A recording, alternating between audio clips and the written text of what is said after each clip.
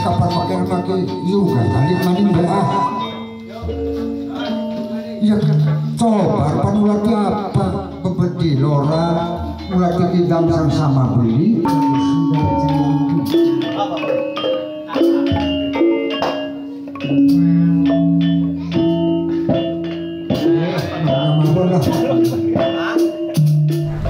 Awal mula jadi dal tadi dalang tahun 42 42 akhir hingga 43 jadi dalang. Masih belajar. Ya terus sampai tiap tiap tahun jalan.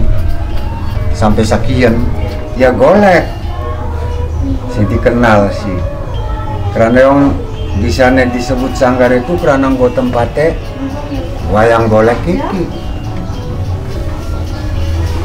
ya sing dikenal ya golek golek cepak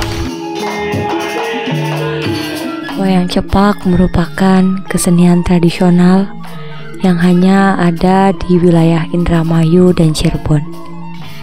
Wayang cepak ini konon sengaja diciptakan oleh Sunan Gunung Jati sebagai media dakwah untuk penyebaran agama Islam. Pada zaman dahulu, wayang cepak pernah berkembang di Cirebon dan daerah sekitarnya. Wayang cepak mulai dikenal orang pada masa pemerintahan Gunung Jati, yaitu pada tahun 1479 sampai 1568. Bentuk wayang cepak hampir mirip dengan wayang golek dari budaya Sunda, namun memiliki bentuk mahkota kepala yang rata.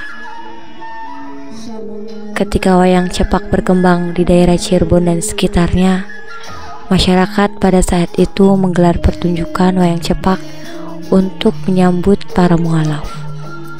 Cerita-cerita yang dipentaskan biasanya terpusat pada tiga hal, yaitu cerita Muslim dari Arab, cerita dari masa kerajaan Hindu, dan cerita lokal yang biasanya bersumber dari Babat. Bisa praptanan tiang agung saking Mataram ingkang sawekang ngaros ya maklum manusia ketunggon manusia anak sing rebutan batas urusan rajeb jadi tukar ya harapannya kira-kira aja sampai punah. Mulanya anak-anak ya ponakan pada kongkon genau gawe. Apa maning golongan pelajar supaya bisa menjalanakan apa yang anu bisa melestariakan seni budaya Jawa. Kan khususnya seni lokal iki golongan golongan golek wayang topeng. Gimana gak lagi di dibutuhkan dan ya golongan anak sekolah pada teka mene ya yuk belajar. Belajar apa? Kayaknya siap belajar. Harapan belajar mayange. Ayo. Yang jalan-jalan akan golek ada di dalam. Ayo. Harapan tadi panjang nabu ya ayo. Buatan gewe kedok ya meni ya gawe Walaupun kesenian wayang cepak kini kurang diminati oleh generasi muda, tetapi Ki Warsat Darya tetap mempertahankan kesenian tradisional yang sudah ada sejak dulu. Beliau melakukannya karena kecintaannya sebagai seorang seniman. Kapan tuh? Ya waktu kini. Eh.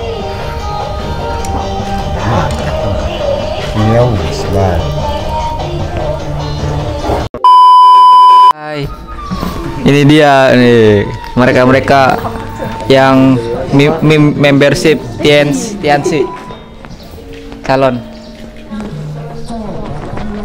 Hai guys. Ini coba cuman cuman. Anti-anti kamu.